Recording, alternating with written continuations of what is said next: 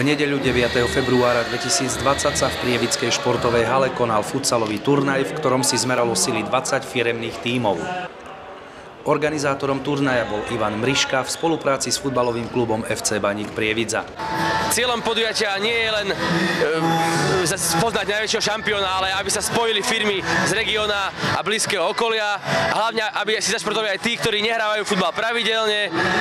Dneska môžeme vidieť aj dievčatá, e, ktoré hrajú v firme Sargumi, takže vítame túto myšlienku a sme veľmi radi, že prišli aj kvázi futbalisti, amatéri, ktorí nehrávajú každý deň súťažne, pretože je to iba o tom, aby bol niekto najlepší, ale aby si každý dosť si zahral z chutí.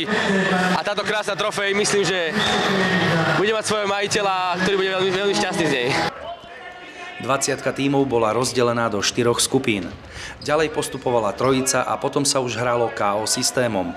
V 10-minútových zápasoch turnaj rýchlo postupoval a okolo 19. sa už hralo o stupeň výťazov. LK Consulting si poradil s týmom Bróze a skončil tretí. Finále bolo vyrovnané a o víťazovi súboja Unifarma Hutira rozhodol až rozstrel zo značky pokutového kopu. Šikovnejšími alebo šťastnejšími boli hráči Hutiry a stali sa víťazmi turnaja.